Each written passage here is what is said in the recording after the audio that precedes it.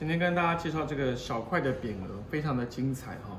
我们看到它这个整个小匾额里面有三个主题，有一匹马，一个顽石。这个顽石既是顽石，也是一个老生入定啊。等会再跟您说明。然后再来一个带剑的武士啊。这整个小匾额代表这三个主题啊。首先我们先讲马的部分吧。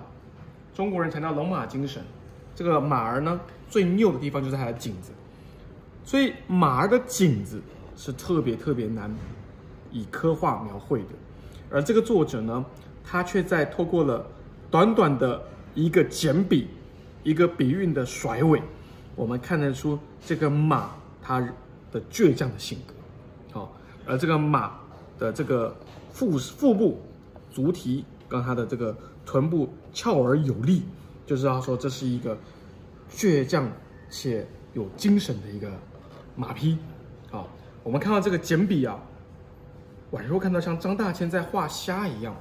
大家如果记得张大千画虾，也不过就是三五两笔，而这匹马儿，它马儿的动作更是比虾子多的许多。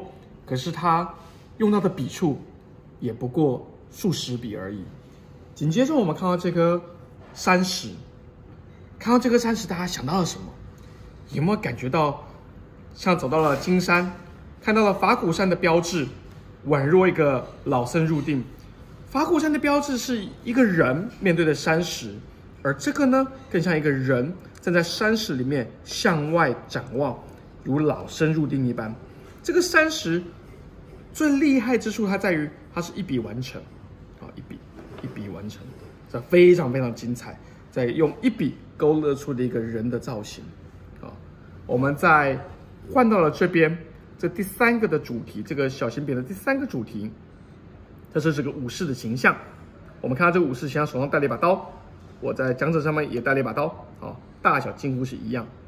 而他的表现呢，更是有透过简笔的力量，凸显出武士的身身衣的。的劲道，最后呢，他用了一个灰色的墨料，凸显出武士的头盔啊，这是一个小型的匾额，非常的精彩，推荐给大家。